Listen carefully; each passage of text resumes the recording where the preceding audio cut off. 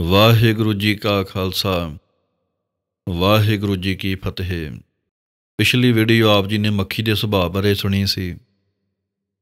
ਇਸ ਵੀਡੀਓ ਦੇ ਵਿੱਚ ਡੱਡੂ ਦੇ ਸੁਭਾਅ ਬਾਰੇ ਜਾਣਾਂਗੇ।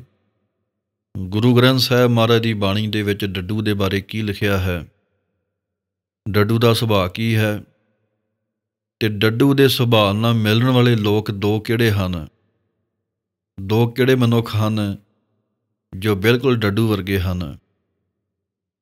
ਗੁਰਬਾਣੀ ਦੇ ਵਿੱਚ ਡੱਡੂ ਦਾ ਨਾਮ ਦਾਦਰ ਵੀ ਆਇਆ ਹੈ, ਮੇਂਢਕ ਵੀ ਆਇਆ ਹੈ ਤੇ ਡੱਡ ਵੀ ਆਇਆ ਹੈ।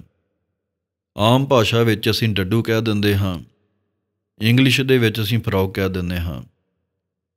ਸੋ ਡੱਡੂ ਜਿਹੜਾ ਹੈ, ਇਹ ਬੜਾ ਇੱਕ ਬੇਵਕੂਫ ਜਿਹਾ ਜੀਵ ਹੈ। ਗੁਰਬਾਣੀ ਦੇ ਵਿੱਚ ਇਹਨੂੰ ਕੋਈ ਸਿਆਣਾ ਨਹੀਂ ਗਿਣਿਆ ਗਿਆ ਹੈ। ਇਹ ਬਹੁਤ ਹੀ ਮੰਦਬੁੱਧੀ ਜਿਹਾ ਹੈ। ਤੇ ਨਲਾਇਕ ਕਿਸਮ ਦਾ ਇਹਨੂੰ ਜੀਵ ਦਰਸਾਇਆ ਗਿਆ ਹੈ।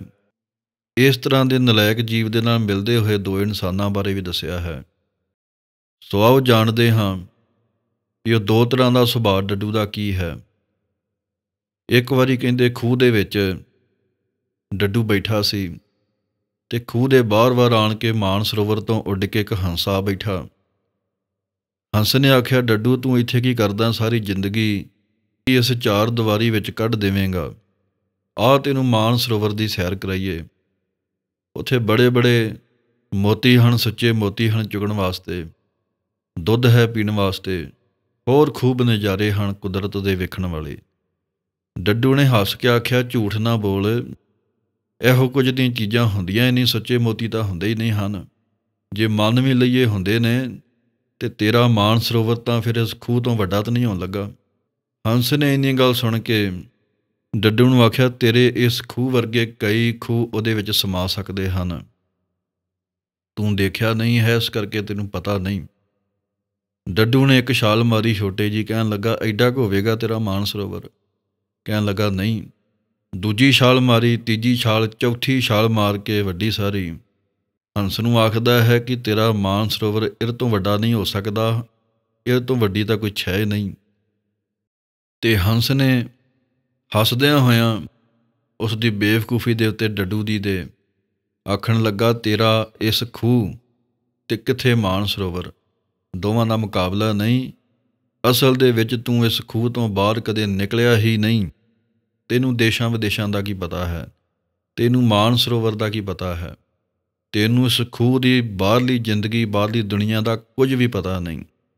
ਤੇ ਡੱਡੂ ਨੇ ਨਾ ਨੁਕਰ ਕਰਦਿਆਂ ਹੋਇਆਂ ਸਗੋਂ ਹੰਸ ਨੂੰ ਜਿਹੜਾ ਹੈ ਝੂਠਿਆਂ ਪਾਇਆ ਵੀ ਨਹੀਂ ਤੂੰ ਝੂਠ ਬੋਲਦਾ ਹੈ।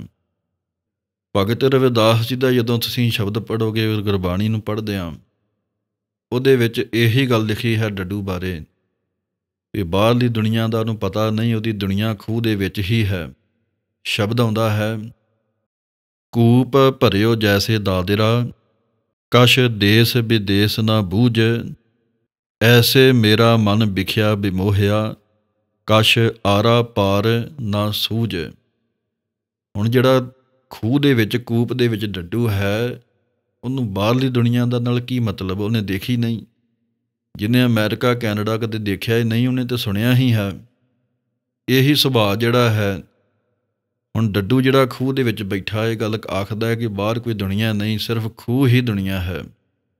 ਉਹ ਝੂਠਾ ਨਹੀਂ ਕਿਉਂਕਿ ਉਹਨੇ ਦੇਖੀ ਨਹੀਂ। ਖੂਹ ਦੇ ਵਿੱਚ ਹੀ ਜੰਮਿਆ ਹੈ ਤੇ ਪਲਿਆ ਹੈ। ਗੱਲ ਡੱਡੂ ਦੀ ਕਰ ਰਹੇ ਨੇ ਗੁਰਬਾਣੀ ਵਿੱਚ। ਤੇ ਸਮਝਾ ਮਨੁੱਖ ਨੂੰ ਰਹੇ ਨੇ। ਕਿਹੜਾ ਮਨੁੱਖ? ਪਹਿਲੀ ਕਿਸਮ ਦਾ ਮਨੁੱਖ। ਜਦੋਂ ਵੀ ਧਰਮ ਦੀ ਗੱਲ ਚੱਲਦੀ ਹੈ। ਗੁਰੂ ਮਾਰੇ ਹੋਏ ਇਹੋ ਜਿਹੇ ਕਈ ਲੋਕ ਹਨ, ਨਾਸਤਕ ਲੋਕ, ਜਿਹੜੇ ਕਹਿੰਦੇ ਹਨ, ਇਹੋ ਹੀ ਦੁਨੀਆ ਹੈ, ਇੱਥੇ ਹੀ ਨਰਕ ਸਵਰਗ ਹੈ। ਇਹਦੇ ਤੋਂ ਅੱਗੇ ਕੋਈ ਸੱਚਖੰਡ ਨਹੀਂ, ਕੋਈ ਨਰਕ ਨਹੀਂ, ਕੋਈ ਸਵਰਗ ਨਹੀਂ, ਕੋਈ ਉਹਦਾ ਦਰ ਨਹੀਂ ਪ੍ਰਮਾਤਮਾ ਦਾ, ਕੋਈ ਸਜ਼ਾਵਾਂ ਨਹੀਂ ਮਿਲਦੀਆਂ, ਕੋਈ ਸੱਚਖੰਡ ਦਾ ਨਹੀਂ ਹੈ ਰਸਤਾ, ਕੋਈ ਰਸ ਨਹੀਂ ਹੈ, ਕੋਈ ਜੀਵਨ ਦੀ ਪਦਵੀ ਉੱਚੀ ਅਵਸਥਾ ਨਹੀਂ ਹੈ। ਇਸ ਤਰ੍ਹਾਂ ਦੀਆਂ ਗੱਲਾਂ ਕਹਿ ਕੇ ਇਹ ਲੋਕ ਮੁਨਕਰ ਹੋ ਜਾਂਦੇ ਹਨ, ਜਿਵੇਂ ਡੱਡੂ ਉਸ ਹੰਸ ਦੇ ਨਾਲ ਬਹਿਸ ਕਰਦਾ ਹੈ। ਇਸੇ ਤਰ੍ਹਾਂ ਦੇ ਮਨੁੱਖ ਤੁਹਾਨੂੰ ਵੀ ਜ਼ਿੰਦਗੀ ਵਿੱਚ ਕਈ ਵਾਰੀ ਮਿਲਣਗੇ ਤੇ ਮਿਲਦੇ ਰਹਿਣਗੇ। ਕਿਉਂਕਿ ਮੂਰਖਾਂ ਦੀ ਵੀ ਕਮੀ ਨਹੀਂ ਰਹਿਣੀ। ਇਹ ਸ਼ੁਰੂ ਤੋਂ ਹੀ ਰਹੇ ਹਨ। ਤੇ ਆਮ ਹੀ ਤੁਹਾਨੂੰ ਕਹਿੰਦੇ ਸੁਣੇ ਵੇਖੇ ਜਾ ਸਕਦੇ ਹਨ ਵੀ ਕੋਈ ਰੱਬ ਨਹੀਂ ਹੈ, ਕੋਈ ਰੱਬ ਦੀ ਦੁਨੀਆ ਨਹੀਂ ਹੈ, ਸਭ ਕੁਝ ਇੱਥੇ ਹੀ ਹੈ। ਕਿਉਂਕਿ ਇਹ ਡੱਡੂ ਵਾਲੇ ਸੁਭਾਅ ਵਾਲੇ ਲੋਕ ਹਨ। ਜਿਵੇਂ ਡੱਡੂ ਦੀ ਦੁਨੀਆ ਖੂਹ ਦੇ ਵਿੱਚ ਹੈ, ਗੁਰਬਾਣੀ ਨੇ ਆਖਿਆ ਇਸੇ ਤਰ੍ਹਾਂ ਦੇ ਮਨੁੱਖ ਜਿਹੜੇ ਹਨ। ਉੱਪਰਲੀ ਦੁਨੀਆ ਨੂੰ, ਉਤਲੀ ਅਵਸਥਾ ਨੂੰ, ਅਗਾਹ ਜਿਹੜਾ ਪਰਲੋਕ ਹੈ ਉਹਦੇ ਬਾਰੇ ਕੁਝ ਵੀ ਜਾਣਦੇ ਨਹੀਂ। ਤੇ ਜੇ ਕੋਈ ਦੱਸਦਾ ਹੈ, ਤੇ ਉਹਦੇ ਉੱਤੇ ਹੱਸਦੇ ਹਨ ਤੇ ਮਜ਼ਾਕ ਕਰਦੇ ਹਨ। ਦੂਜੀ ਤਰ੍ਹਾਂ ਦਾ ਜਿਹੜਾ ਸੁਭਾਅ ਹੈ ਮਨੁੱਖ ਦਾ, ਡੱਡੂ ਦੀ ਉਦਾਹਰਣ ਦਿੰਦਿਆਂ ਹੋਇਆਂ ਮਹਾਰਾਜ ਨੇ, ਧੰਨ ਗੁਰੂ ਨਾਨਕ ਦੇ ਮਹਾਰਾਜ ਦਾ ਸ਼ਬਦ ਹੈ, ਬਿਮਲ ਮਝਾਰ ਬਸਸ ਨਿਰਮਲ ਜਲ, ਪਦਮਨ ਜਾਵਲ ਰੇ, ਪਦਮਨ ਜਾਵਲ ਜਲ ਰਸ ਸੰਗਤ। ਸੰਗ ਦੋਖ ਨਹੀਂ ਰੇ। ਦਾਦਰ, ਤੂੰ ਕਬਹਿ ਨਾ ਜਾਣਸ ਰੇ। ਭਖਸ ਸਿਬਾਲ ਬਸਸ ਨਿਰਮਲ ਜਲ, ਅੰਮ੍ਰਿਤ ਨਾ ਲਖਸ ਰੇ ਰਹਾਉ। ਜਦੋਂ ਇਹ ਸ਼ਬਦ ਤੁਸੀਂ ਸਾਰਾ ਪੜੋਗੇ ਗੁਰੂ ਨਾਨਕ ਦੇਵ ਮਹਾਰਾਜ ਕਹਿ ਰਹੇ ਨੇ, ਦਾਦਰ ਇਹ ਡੱਡੂ, ਰਹਿੰਦਾ ਤੂੰ ਕਮਲ ਦੇ ਫੁੱਲ ਦੇ ਨਾਲ ਹੀ ਹੈ ਸਰੋਵਰ ਦੇ ਵਿੱਚ। ਤੇਰੇ ਨਾਲ ਕਮਲ ਦਾ ਫੁੱਲ ਵੇਖ ਕਿਵੇਂ ਖਿੜਿਆ ਹੈ।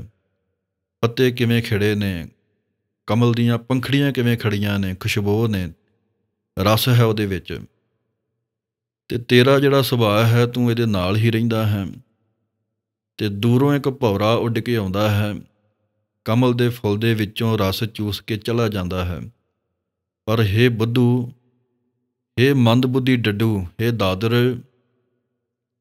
हे ਬੇਵਕੂਫ ਡੱਡੂ ਤੂੰ ਸਾਰੀ ਉਮਰ ਕਮਲ ਦੇ ਫੁੱਲ ਦੇ ਨਾਲ ਲੱਗ ਕੇ ਜਾਲਾ ਹੀ ਖਾਂਦਾ ਰਹਿੰਦਾ ਹੈ। ਤੇਰੇ ਕੋਲ ਹੀ ਕਮਲ ਦਾ ਰਸ ਹੈ। ਕਮਲ ਦੀ ਖੁਸ਼ਬੂ ਹੈ, ਉਹਦਾ ਖੇੜਾ ਹੈ। ਪਰ ਤੈਨੂੰ ਉਹ ਦਿਸਦਾ ਨਹੀਂ। ਤੂੰ ਕੋਲ ਰਹਿੰਦਾ ਹੋਇਆ ਵੀ ਜਾਲਾ ਹੀ ਖਾਂਦਾ ਰਹਿੰਦਾ ਹੈ, ਤੇਰੇ ਵਰਗਾ ਬੇਵਕੂਫ ਕੋਈ ਨਹੀਂ ਹੈ। ਇਹ ਹੈ ਮੰਦਬੁੱਧੀ ਡੱਡੂ। ਗੱਲ ਡੱਡੂ ਦੀ ਹੈ ਤੇ ਇਹ ਮਨੁੱਖਾਂ ਦੀ ਵੀ ਹੈ। ਕਿਹੜੇ ਮਨੁੱਖਾਂ ਦੀ? ਜਿਹੜੇ ਧਰਮ ਦਾ ਬਾਣਾ ਤਾਂ ਪਹਿਨ ਲੈਂਦੇ ਹਨ। ਜਿਹੜੇ ਅੰਮ੍ਰਿਤ ਤਾਂ ਛਕ ਲੈਂਦੇ ਹਨ, ਜਿਹੜੇ ਰੱਬ ਦੇ ਰਸਤੇ ਤੇ ਤੁਰਤੇ ਲੈਂਦੇ ਹਨ, ਪਰ ਗੁਰੂ ਦੇ ਕੋਲ ਰਹਿੰਦਿਆਂ ਹੋਇਆਂ, ਨਾਮ ਜਪਦਿਆਂ ਹੋਇਆਂ, ਸੰਤਾਂ ਮਹਾਂਪੁਰਖਾਂ ਦੀ ਸੰਗਤਾਂ ਵੀ ਕਈਆਂ ਨੂੰ ਮਿਲਦੀ ਹੈ, ਉਹਦੇ ਵਿੱਚ ਰਹਿੰਦਿਆਂ ਹੋਇਆਂ ਵੀ, ਗੁਰਮਖਾਂ ਦੀ ਸੰਗਤ ਵਿੱਚ ਰਹਿੰਦਿਆਂ ਹੋਇਆਂ ਵੀ, ਇੱਥੋਂ ਤੱਕ ਧੰਨ ਸ੍ਰੀ ਗੁਰੂ ਗ੍ਰੰਥ ਸਾਹਿਬ ਮਹਾਰਾਜ ਦੇ ਕੋਲ ਰਹਿਣ ਦਾ ਵੀ ਕਈਆਂ ਨੂੰ ਸਮਾਂ ਮਿਲਦਾ ਹੈ, ਰਹਿੰਦਿਆਂ ਹੋਇਆਂ ਵੀ।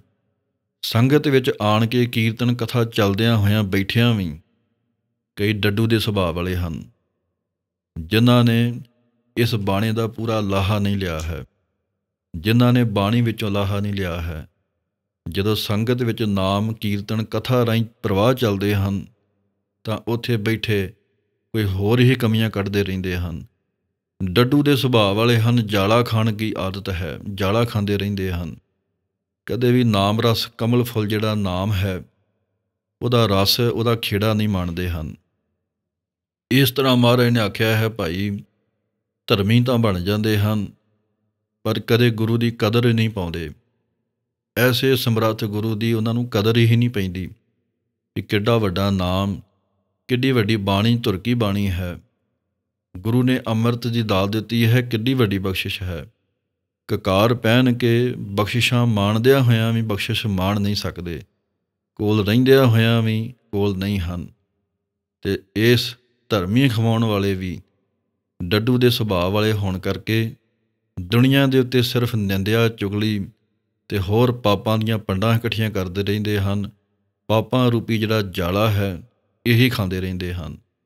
ਇਸ ਤਰ੍ਹਾਂ ਗੁਰੂ ਸਾਹਿਬ ਨੇ ਦੋ ਤਰ੍ਹਾਂ ਦੇ ਪ੍ਰਮਾਣ ਦਿੱਤੇ ਹਨ ਕਿ ਭਾਈ ਡੱਡੂ ਜਿਹੜਾ ਹੈ, ਖੂਹ ਦੀ ਜ਼ਿੰਦਗੀ ਹੈ ਤੇ ਕਮਲ ਦੇ ਫੁੱਲ ਦੇ ਕੋਲ ਰਹਿੰਦਿਆਂ ਹੋਇਆਂ ਵੀ ਜਾਲਾ ਹੀ ਖਾਂਦਾ ਰਿਹਾ, ਕਦੇ ਉਹਦੀ ਸਾਰ ਨਹੀਂ ਜਾਣੀ। ਇਸ ਤਰ੍ਹਾਂ ਇੱਕ ਪ੍ਰਮਾਣ ਮਾਰੇ ਨੇ ਹੋਰ ਦਿੱਤਾ ਹੈ ਕਿ ਉਹ ਲੋਕ ਹਨ ਜਿਹੜੇ ਤੀਰਥਾਂ ਤੇ ਇਸ਼ਨਾਨ ਕਰਦੇ ਹਨ ਤੇ ਨਹਾ ਕੇ ਆਖਦੇ ਹਨ ਕਿ ਅਸੀਂ ਪੁੱਤਰ ਹੋ ਗਏ ਹਾਂ। ਮਾਰੇ ਨੇ ਆਖਿਆ, ਜਿਹੋ ਜਿਹਾ ਬੇਵਕੂਫ ਡੱਡੂ ਜੇ ਉਹ 100 ਵਾਰੀ 1000 ਵਾਰੀ ਪਾਣੀ ਚੋਂ ਬਾਹਰ ਤੇ ਅੰਦਰ ਜਾਵੇ, ਆਵੇ ਕਦੇ ਉਹ ਪਵਿੱਤਰ ਤੇ ਬੁੱਧੀਮਾਨ ਨਹੀਂ ਹੋ ਸਕਦਾ। ਇਸ ਤਰ੍ਹਾਂ ਉਹ ਲੋਕ ਨਾਮ ਜਪਣ ਤੋਂ ਬਿਨਾ, ਗੁਰਬਾਣੀ ਪੜਨ ਤੋਂ ਬਿਨਾ, ਸੇਵਾ ਕੀਤਿਆਂ ਬਿਨਾ, ਜੇ ਪਾਪ ਪੁੰਨ ਤੀਰਥਾਂ ਦੇ ਉੱਤੇ ਇਸ਼ਨਾਨ ਕਰਨਾ ਮਿਟਣਾ ਸਮਝਦੇ ਹਨ, ਤੇ ਕਦੇ ਵੀ ਡੱਡੂ ਵਾਂਗੂ ਉਹਨਾਂ ਨੂੰ ਪ੍ਰਾਪਤ ਕੁਝ ਨਹੀਂ ਹੁੰਦਾ। ਇਹ ਹੈ ਡੱਡੂ ਬਾਰੇ ਵਿਚਾਰ ਤੇ ਦੋ ਤਰ੍ਹਾਂ ਦੇ ਮਨੁੱਖਾਂ ਬਾਰੇ ਵਿਚਾਰ। ਵਾਹਿਗੁਰੂ ਜੀ ਕਾ ਖਾਲਸਾ, ਵਾਹਿਗੁਰੂ ਜੀ ਕੀ ਫਤਿਹ।